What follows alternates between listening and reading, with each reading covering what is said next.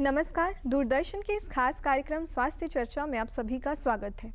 इसमें कोई शक नहीं कि बरसात का मौसम हमें गर्मी से राहत देता है, मगर उतना ही बीमारियों को आमंत्रण भी देता है।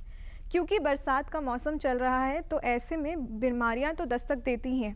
इसलिए आज हम बात करेंगे बरसाती बीमारियों, यानी कि मानसून डिजीज़ेस पर डॉक्टर वेंकटेश कात्यायन जी से जो आयुर्वेदिक चिकित्सक हैं और इस वक्त हमारे स्टूडियो में मौजूद हैं। तो बात करते हैं उनसे और जानते हैं कि इस बरसात के मौसम में सुरक्षित कैसे रहा जा सकता है। तो सबसे पहले डॉक्टर मैं आपका हमारे इस कार्यक्रम में स्वागत करना चाहूँगी। आपका हमारे इस कार्यक्रम में बहुत बहुत स्वागत है। बहुत बहुत धन्यवाद सभी दर्शकों का और आपका भी। आ, सबसे पहला सवाल मैं चाहूँगी कि आप हमारे दर्शकों को बताएँ कि इस बरसात के मौसम में किन बीमारियों का खतरा ज़्यादा बढ़ जाता है। बरसात का मौसम जो है सामान्यतः यह बीमारियों का मौसम ही है। इस मौसम में जो वसुंधरा है धरती है अम्लीयता से बढ़ जाती है और गर्मी के मौसम में बरसात होने के बाद जो वातावरण जो है वो थोड़ा जो है संक्रमित वाला हो जाता है। इसमें मॉइस्चर भी हो जाता है। तो इस मौसम में बीमारी जो है तेज़ी से फैलने की संभावना हो जाती है। वायरल हो बैक्टीरियल हो इस तरह की समस्या काफ़ी तेज़ी से होती है। तो बरसात का मौसम जो है एक तरह से देखा जाए तो बहुत उपयोगी है फ़सल के लिए लेकिन यह जो है मौसम है बीमारी को भी बढ़ावा देता है। तो इस मौसम में हमें अन्य ऋतुओं की अपेक्षा इसमें विशेष ध्यान रखना पड़ता है। जी जी। तो जैसे कि इसमें डॉक्टर मलेरिया मच्छर के काटने की बीमारियाँ भी ज़्यादा हो जाती है मलेरिया हो गया डेंगू हो गए तो इसके लक्षण कैसे पता चलते हैं और इसका आयुर्वेद में क्या उपचार हो सकता है? बिल्कुल मलेरिया डेंगू और जो चिकनगुनिया है यह मच्छर से ही फैलता है। सबसे पहले मलेरिया जो डेंगू है ये सब होता है जहाँ पर गंदगी हो जहाँ पर पानी का जमाव ज़्यादा हो पानी का निष्कासन कम हो अगल बगल नाला हो झाड़ी हो उस तरह के जगह पे मच्छर बहुत तेज़ी से पनपते हैं। और उस मच्छर से पनपने के कारण लोगों में बीमारियाँ उस समय ज़्यादा बढ़ती है लार्वा उनका पानी में जमा होता है तेज़ी से फैलता है हम्म। बढ़ता है तो उस सबसे पहले तो हम उसके कारण को दूर करें। जी। कारण में हम आसपास के जो है पानी को साफ़ रखें पानी को जमने ना दें वहाँ पर किरोसिन का छिड़काव करें ब्लीचिंग पाउडर का छिड़काव करें अगल बगल जो है साफ़ सुथरा रखें मच्छरदानी का प्रयोग करें।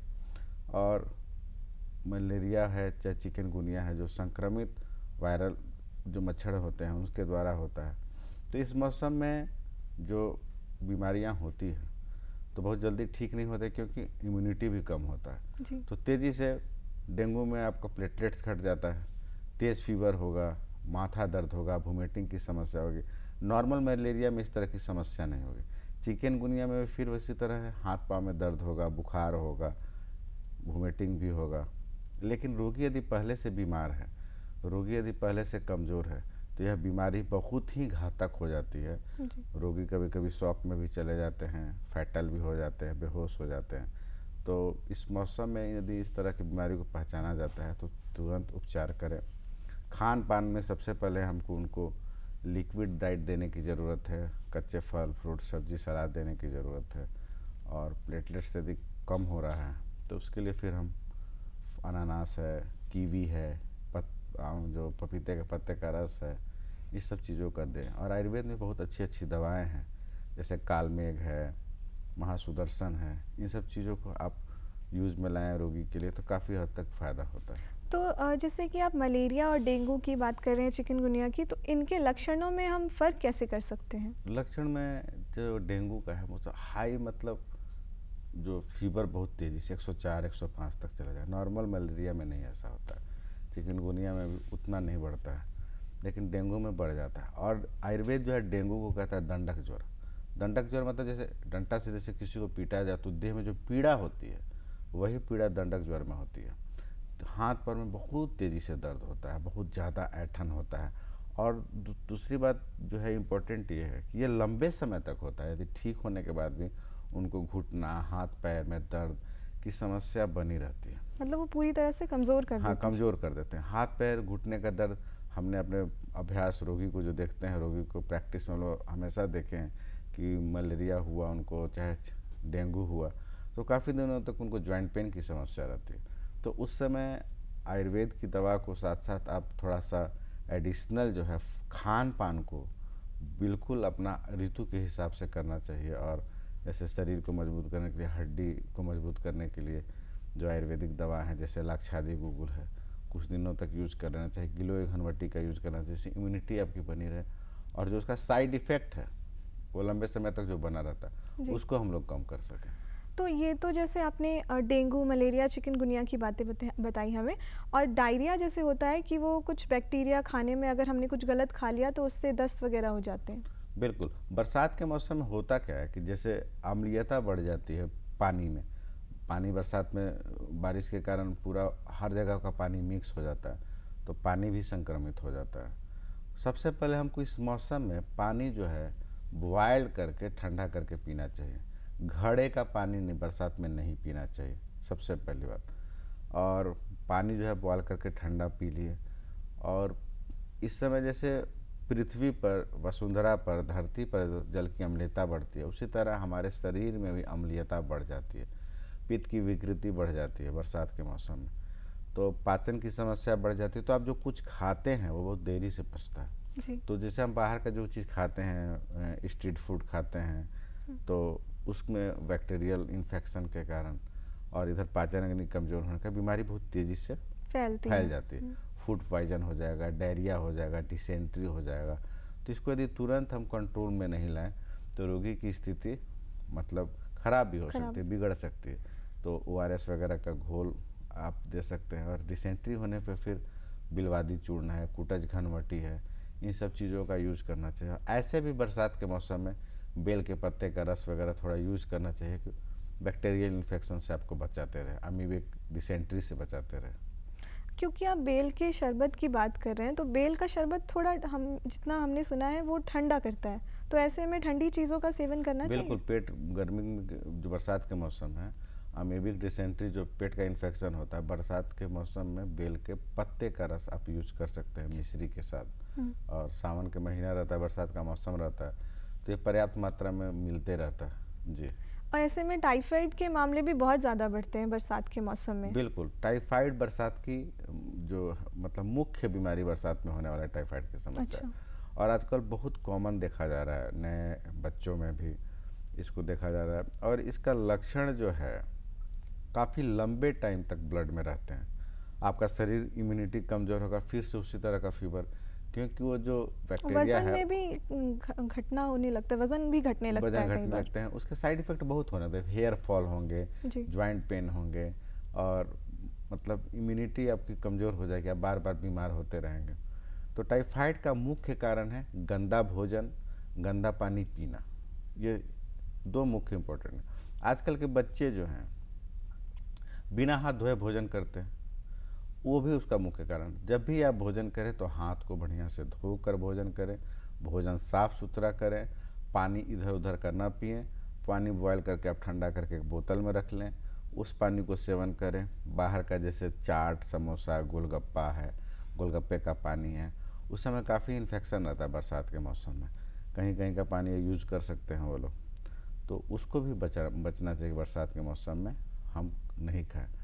और टाइफाइड एक बार हो जाने पे ब्लड में बहुत दिनों तक वो लंबित समय तक निकल नहीं पाता है उसका बैक्टीरिया जो है। स्प्लीन में जाके आंत में जाके छुप जाता है। आंत जो है बोला ही जाता है। हम्म। तो आंत में छुपा रहता है फिर किसी तरह का इन्फेक्शन होगा फिर आ जाएगा। तो एक बार टाइफाइड हो गया तो उसको बिल्कुल ध्यान आना चाहिए कि कच्चे फल मैंने कटा हुआ बहुत देरों से मूली गाजर खीरा ये सब बहुत देरों से लंबे टाइम से नहीं कटा हुआ खाना चाहिए। दूध का सेवन भी अवॉइड करना चाहिए दही का सेवन अवॉइड करना चाहिए। जो भी बैक्टीरियल इन्फेक्शन को बढ़ा सकते हैं जो उसके कॉज हैं जो उसके कारण हैं उसको दूर करना चाहिए। तो इसमें वायरल फीवर भी बहुत हमें देखने को मिलता है कि ये भी पूरे आँख की तरफ़ फैलता है। ये तो अक्सर लोगों में देखने को मिलता है कि बरसात के मौसम में हम सुनते हैं कि वायरल हो गया है। जी।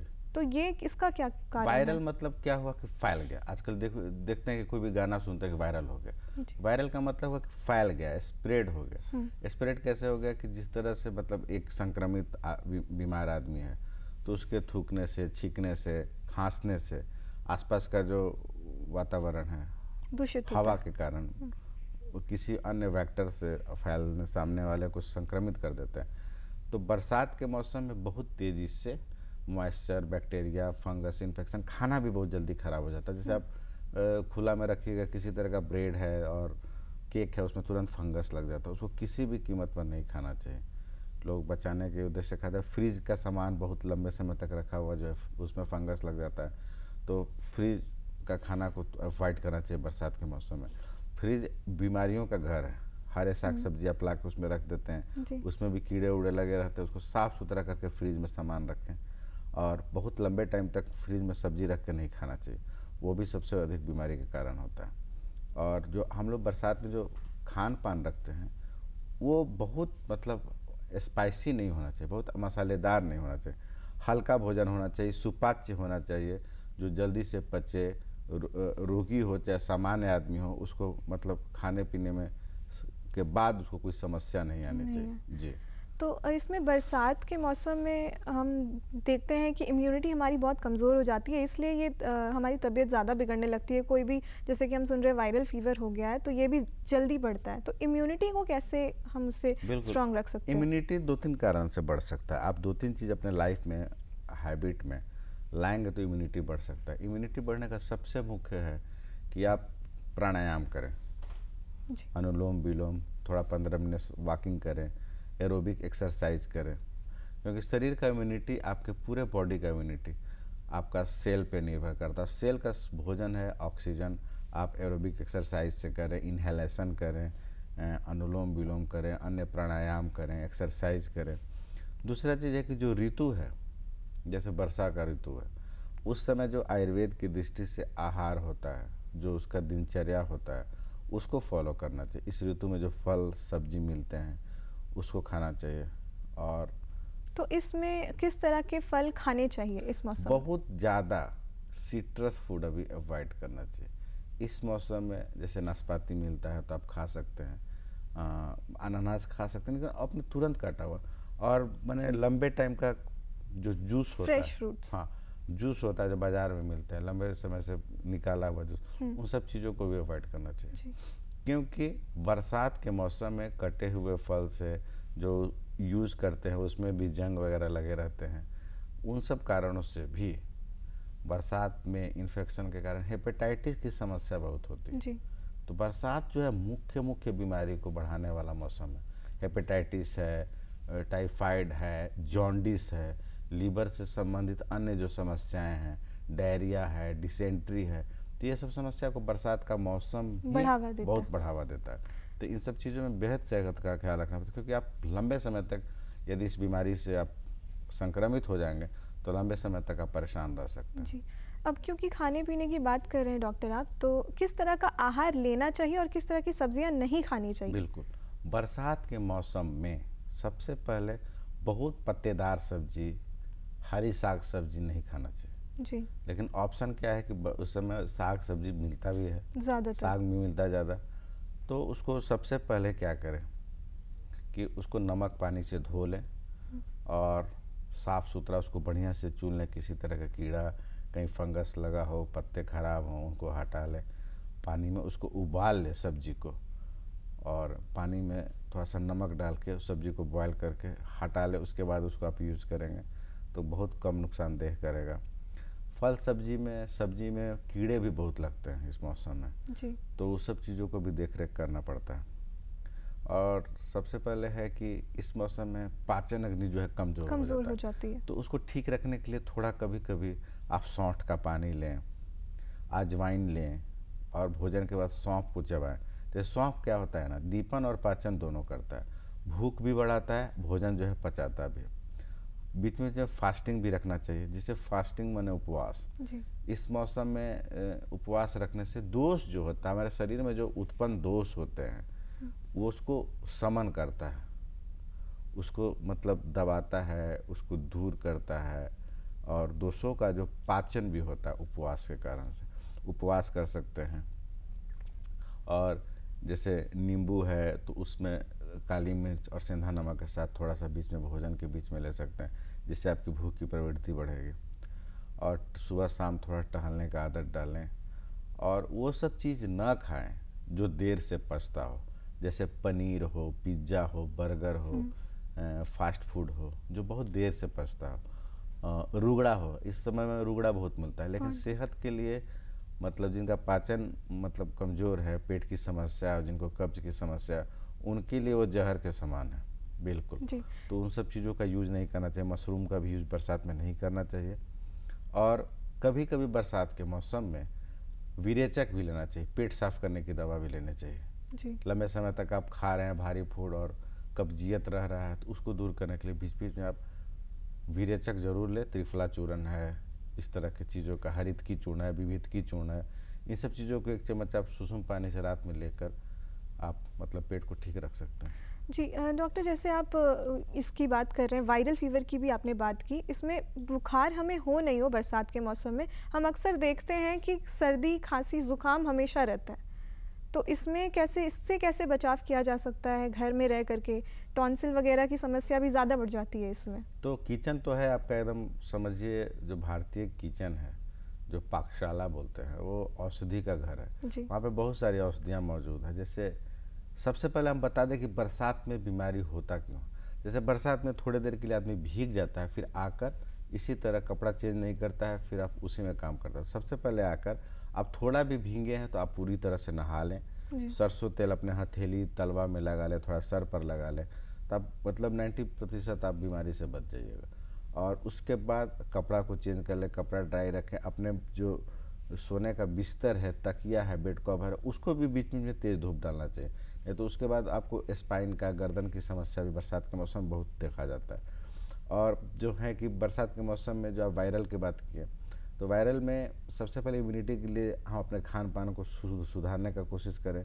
नींबू का चाय पिए उसमें थोड़ा अजवाइन लें डाल कर लें और रात में दालचीनी का पाउडर दूध में आप ले सकते हैं और ग्रीन टी का यूज़ करें। लिक्विड डाइट को थोड़ा बढ़ावा दें जैसे हाँ दलिया है सूप है खिचड़ी है, इन सब चीज़ों का भोजन में आप इस्तेमाल करेंगे तो बहुत बढ़िया। जैसे परवल है तो उसको आप नींबू डाल के उसको बॉयल करके यूज़ कर सकते हैं। जितनी भी सब्ज़ियाँ हरी सब्ज़ी उसमें कम तेल में आप स्टीम करके हल्के नमक के साथ यूज़ करें। उससे आपका वज़न भी ठीक रहेगा, आपका पाचन भी ठीक रहेगा और पेट भी साफ़ रहेगा। अभी आपने बीच में डॉक्टर दूध और दही के सेवन की बात की थी कि वो जितना हो सके कम ले। तो ये सिर्फ़ दूध और दही के लिए है कि मतलब हमें सारे डेयरी प्रोडक्ट्स का सेवन ही कम करना चाहिए? बरसात के मौसम में डेयरी प्रोडक्ट का यूज़ थोड़ा कम करना चाहिए। इसलिए कि बहुत लोगों को पेट की समस्या होती है पेट की समस्या इन सब चीज़ों से बढ़ भी जाती है। दही आप यूज़ करना चाहते हैं तो ताज़ा दही यूज़ करें क्योंकि उसका जो बैक्टीरिया होता है वो भी पेट के लिए फ़ायदेमंद होते हैं। और मट्ठे का आप यूज़ कर सकते हैं काला नमक जीरा पाउडर डाल के यूज़ कर सकते हैं। पनीर जो है बहुत देर से पचता है। और पनीर बहुत सेहत के लिए कोई बहुत बढ़िया नहीं होता।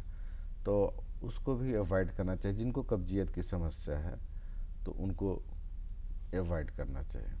और दूध यदि आप लेना चाहते हैं, जिनको मतलब सर्दी खांसी है, फिर भी दूध लेना चाहते हैं थोड़ा मजबूती के लिए तो उसमें हरिद्रा खंड या हल्दी पाउडर कभी कभी दूध में डाल के ले सकते हैं। कभी पिपली चूर्ण उसमें डाल के ले सकते हैं। कभी दालचीनी का पाउडर डाल के ले सकते हैं। तो उससे उनकी इम्यूनिटी भी बढ़ेगी और दूध का जो साइड इफ़ेक्ट है उससे भी वो बचेंगे। तो दूध के प्रोडक्ट्स की आप बात कर रहे हैं तो दूध के प्रोडक्ट्स में प्रोटीन बहुत रहता है। बिल्कुल। तो मतलब बरसात के मौसम में प्रोटीन की मात्रा कम लेनी चाहिए। नहीं ऐसी बात नहीं। दूध जो है बैक्टीरियल इन्फेक्शन को बढ़ाता है इसलिए दूध के जो प्रोडक्ट हैं वो बढ़ाते हैं। बाकी अब चना उड़द राजमा मटर ये सब भी में प्रोटीन पाए जाते हैं। कढ़ी का पत्ता है ये आपको तिल है ये में भी प्रोटीन पाया जाता है आप ये सब यूज़ कर सकते हैं। दूध का मतलब ऐसा नहीं है कि आप पोनी जो प्रोटीन है उसको मना कर रहे हैं। दूध जो है इन्फेक्शन को थोड़ा बढ़ाता है। अब टाइफाइड का रोगी है तो उसको दूध हम देना मना करेंगे। फीवर है तो भी उसमें दूध हम मना करेंगे देने के लिए क्योंकि वो बीमारी को और बढ़ा देते हैं। जी। तो ऐसे में नॉनवेज खा सकते हैं कि नहीं खा सकते? इस मौसम में बरसात के मौसम में नॉनवेज को अवॉइड करना चाहिए क्योंकि नॉनवेज जो है इस समय खाने से आपको नुकसानदेह है। एक तो जितने भी पशु पक्षी जो जानवर हैं वो बीमार भी हो जाते हैं बरसात के मौसम में। जी। कभी कभी क्या होता है स्नेक बाइट कोई पॉइजनस चीज़ के कारण वो जानवर डेड हो जाते हैं तो उन सब का भी जो है हानिकारक होता है। और खाने पीने में जो है इन लोग का ब्रीडिंग टाइम भी होता है तो इसके लिए भी हम लोग अवॉइड करते हैं कि नॉन वेज नहीं खाना चाहिए। एक तो अ, मतलब भोजन जो है पचता देर से इसलिए हम लोग नॉनवेज को बरसात में अवॉइड करना चाहिए। बरसात में डॉक्टर हम देखते हैं कि हम भीगते हैं तो कई बार स्किन डिजीजेस वगैरह भी बहुत बढ़ जाते हैं। तो ऐसे में क्या करना चाहिए? बरसात के मौसम में चर्म रोग की समस्या बहुत होती है क्योंकि बहुत बार क्या होता है कि हम नमी भीगा हुआ कपड़ा बहुत देर से पहन लेते हैं उसके बाद शरीर में इचिंग खुजली शुरू होने लगता है। तो उसको सबसे पहले कि हम शरीर को आकर बाहर से बढ़िया से स्नान कर लें और उसके बाद नारियल तेल वगैरह लगा लें। और ज़्यादा समस्या है तो कैसोर गूगल है, आरोग्यवर्धनी बटी है, एक सप्ताह दस दिन बरसात के मौसम में ऐसे भी आप खा लेंगे। तो लीवर की समस्या हो चर्म रोग की समस्या हो, दूर हो जाएगी। और ये इचिंग जो है मतलब कहीं पे चर्म रोग की समस्या, उसको बार बार उसको खुजलाना भी नहीं चाहिए, उससे बीमारी और बढ़ जाती है। और कपड़ा साफ़ सुथरा होना चाहिए बरसात के मौसम में और सूखा हुआ होना चाहिए। बहुत बार नमी के कारण कपड़ा सूखा नहीं रहता उसको पहन लेते हैं तो उससे भी बीमारी हो जाती है। तो हम लोग को कपड़ा ड्राई रखना है और कपड़ा साफ़ सुथरा पहनना है। मतलब ऐसे में फंगल इन्फेक्शन ज़्यादा बढ़ते हैं। हाँ यदि नमी रहेगी तो। कपड़ों में भी। तो ऐसे में कई बार हम देखते हैं कि बरसात के मौसम में दूसरी बीमारियाँ भी बहुत घर कर लेती हैं ज़्यादा बढ़ जाती हैं। फिर चाहे वो अर्थराइटिस हो गए या फिर डायबिटीज़ हो गया ऐसे में तो उनमें ऐसे में किस तरीके से बचाव किया जा सकता है कि ये बीमारियाँ ज़्यादा ना बढ़े? अर्थराइटिस का मुख्य कारण बरसात में है। बरसात में दो तीन बीमारियाँ बढ़ जाती है आपने ठीक कहा। एक तो अर्थराइटिस की समस्या है और शुगर की समस्या भी बढ़ जाती है और दूसरी चीज़ है कि सर्दी खांसी की समस्या बढ़ जाती है। तो अर्थराइटिस की जहाँ तक बात है तो पित्त की विकृति बढ़ने के कारण और बरसात के मौसम में अमूमन हर एक उम्र के लोगों के इम्यूनिटी घट जाती है। एक तो वातावरण में नमी होती है, सूर्य के प्रकाश की कमी होती है और जिसके कारण शरीर को पर्याप्त मतलब सनलाइट भी नहीं मिल पाता है तो विटामिन डी की कमी हो जाती है। तो शरीर ऐसे भी इम्यूनिटी से सफ़र करता है। तो खान पान जो है हमको इसमें अच्छा रखना पड़ता है लेकिन फिर भी जिनको गठिया की समस्या हो बरसात के मौसम में बहुत हो जाता है बढ़ जाता है तो उनको खट्टे चीज़ का सिट्रस चीज़ का दही है चना है उड़द राजमा मटर इन सब चीज़ों का सेवन पहले से बंद करना चाहिए। और बरसात के मौसम में शुगर की समस्या और थराइटिस का मुख्य समस्या बढ़ने का ये भी कारण है कि फ़िज़िकल एक्टिविटी लोगों का कम हो जाता है। बरसात के मौसम में बाहर निकलते नहीं हैं। तो वो घर में ही कम से कम पंद्रह बीस मिनट सुबह शाम अपने शरीर को एक्सरसाइज करें एरोबिक एक्सरसाइज करें सूक्ष्म व्यायाम करें अपने शरीर को एक्टिव रखें तो ठीक रहें और खान पान में थोड़ा सा संयमित रहें तो उनकी समस्या काफ़ी हद तक ठीक रहेगी। बरसात के मौसम में किन वर्ग के लोगों को ज़्यादा इसमें बचाव करना चाहिए खुद को परहेज़ में रखना चाहिए? इस मौसम में बच्चे हो बूढ़े हो स्त्री हो और रोगी हो उन सबको विशेष ख्याल रखना पड़ता है। अब बच्चे जो हैं, इस समय सबसे अधिक उनको समस्या लूज मोशन की होती है डायरिया, डिसेंट्री की होती है बार बार उनको फीवर आता है खाने की इच्छा नहीं रहती है, चिड़चिड़ाहट बढ़ जाती है और मतलब खांसी, सर्दी की समस्या होती है बच्चों में। तो एक तो है कि सनलाइट उनको मिलता नहीं है प्रॉपर और खाने पीने में उनको भूख भी कम हो जाता है तो जैसे छोटे बच्चे हैं तो उनको बीच बीच में लवन भास्कर हिंग वास्टर चूर्ण को मिक्स करके पाउडर बना के एक चुटकी सुबह शाम गर्म पानी से देते रहें। भोजन के बीच में तो उनकी पाचन की समस्या ठीक रहेगी डायरिया डिसेंट्री ठीक रहेगा। और बुखार यदि होता है तो उनको सीतोपलादी का चूर्ण दे सकते हैं। और ऐसा नहीं है कि बीमारी हो तभी आप यूज़ कर सकते हैं। आयुर्वेदिक औषधि आपके मतलब आहार की तरह। बरसात का मौसम शुरू हुआ तो एक सप्ताह दस दिन आप उसको सीतोपलादी चूर्ण मधु के साथ या घी के साथ उसको दे देंगे तो उसको उस समय सर्दी खांसी की समस्या से वो बचा रहेगा। लवन भास्कर हिंगवास्टक चूर्ण कर दे दिए उसमें कपरदक भस्म मिला दिए तो बच्चों में पेट दर्द की समस्या भूख अजीर्ण इन सब चीज़ की समस्या से वो बच्चे रहेंगे।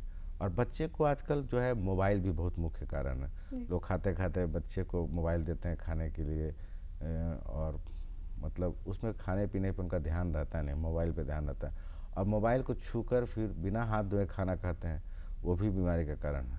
तो मोबाइल को भी साफ़ सुथरा रखना चाहिए। घर का जो मोबाइल है, जो बार बार हम छूते हैं, रिमोट है, किसी चीज़ को बार बार जहाँ छूते हैं, उसको सैनिटाइज भी करते रहना वो भी बीमारी का मुख्य कारण है। बच्चों में तेल मालिश बहुत ज़रूरी है इस समय में। और जो युवा वर्ग के हैं, उनको समस्या हो जाती है, जिस समय फीवर, मलेरिया और जो मतलब टाइफाइड जो बाहर खाते पीते हैं तो उनको अपने खान पान का ध्यान, पानी, अपना साफ़ सुथरा अपना बोतल में लेके चले। भींगने से बचे, भींग गए यदि तो घर आके फिर से नहा लें, कपड़ा चेंज कर ले और सरसों तेल का इस्तेमाल करें थोड़ा सा नींबू, अदरक, तुलसी का चाय पी लें। स्त्रियाँ जो हैं, ज़्यादातर हाउस जो हैं, घर में रहती हैं तो उनको भी मतलब पर्याप्त ऑक्सीजन ऑक्सीजन वाली जो हवा नहीं मिल पाती, किचन में तो एक तो एग्जॉस्ट का यूज़ करें, वेंटिलेशन उनका होना चाहिए। शाम या सुबह में कभी भी मौसम ठीक रहे तो थोड़ा टहलने की आदत डालें। पंद्रह बीस मिनट का अपना एक्सरसाइज जो है वो खान पान में ज़रूर रखें और अपने सेहत का ध्यान रखें। तो जैसे अक्सर हम देखते हैं कि आसपास का वातावरण बरसात के मौसम में दूषित हो ही जाता है तो छूने से बीमारियाँ ज़्यादा फैलती तो आसपास के वातावरण को कैसे सुरक्षित रखा जा सकता है कि बीमारियों को बढ़ावा ना मिले? सबसे पहले कि वातावरण शुद्ध रखने के लिए जैसे आप शाम के टाइम में लोबान है गूगल है आयुर्वेदिक औषधि है उस सब का धूप दें शाम में जला दें घर के आसपास में घुमा दें तो उससे आपका वातावरण बड़ा शुद्ध हो जाता है। और दूसरी बात है कि जैसे घर में जो पोछा ओछा लगता है उसमें भी आप थोड़ा सा नमक डाल के पोछा करवाएँ तो उससे काफ़ी हद तक जो है दूर रहता है बैक्टीरिया पनपने का। और कोशिश करें कि घर का जितना भी किचन का खाना उना है सबको ढक के रखने का कोशिश करें। खुला हुआ ना अपना जो घर का बाथरूम है, उसको साफ़ रखने की ज़रूरत है। वहाँ पे अन्यत्र कोई सामान को जमा ना होने दे। कहीं भी किसी भी तरह की जो नमी फैलाए, उस चीज़ों को आप जमा ना होने उसको ड्राई करके रखें, सुखा कर रखें। किचन में कॉकरोच की समस्या इस समय बढ़ जाती है तो उस सबको बिल्कुल ध्यान रखने की ज़रूरत है। जी। तो मैं चाहूँगी कि डॉक्टर आप हमारे दर्शकों को अपना, अपनी सलाह दें कि कैसे इसमें सुरक्षित रहा जा सकता है, कैसे घरेलू उपचार किए जा सकते हैं, आयुर्वेदिक उपचार तो आपने बताए और कैसे इसमें सुरक्षित रहा जा सकता है। प्रज्ञा पराधम ही मूलम रोगाणाम। शरीर जो बीमार होता है, अपने ही गलतियों से होता है। तो आप वो गलती ना करें जिससे आप बीमार पड़ते हैं। आप ऋतु के अनुसार अपना दिनचर्या रखें, अपने जो पाचन है उसके साथ अपना भोजन रखें। इससे आप स्वस्थ रखें। जी बहुत ही अच्छी बात बताई डॉक्टर। आपने बहुत ही अच्छी सलाह दी हम आपने इस अधिक जानकारी के लिए और हमारे इस कार्यक्रम में आने के लिए आपका बहुत बहुत शुक्रिया। धन्यवाद। तो बरसात बरसात और बीमारियों का पुराना रिश्ता रहा है तो ऐसे में बरसाती बीमारियों की वजह और उनका इलाज कैसे हो सकता है, इसकी जानकारी रखना बहुत आवश्यक है। इस पर आज हमने चर्चा की डॉक्टर वेंकटेश कात्यायन जी से। उन्होंने कई बातें हमें बताई कि इसका इलाज, उपचार कैसे किया जा सकता है और आयुर्वेद में इसका उपचार किस प्रकार से संभव है। तो आशा करते हैं कि आपको इन सब जानकारी से, इस चर्चा से लाभ मिलेगा। अंत में मैं बस इतना ही कहना चाहूँगी कि स्वास्थ्य चर्चा और और अन्य कार्यक्रमों के लिए आप हमारे यूट्यूब के चैनल डी डी झारखंड पर विज़िट कर सकते हैं और टाटा स्काई के चैनल नंबर 1145 पर भी हमारा ये चैनल इजीली अवेलेबल है। तो इसी के साथ हमें दीजिए इजाज़त। स्वास्थ्य चर्चा के अगले अंक में फिर मिलेंगे आपसे। तब तक के लिए नमस्कार।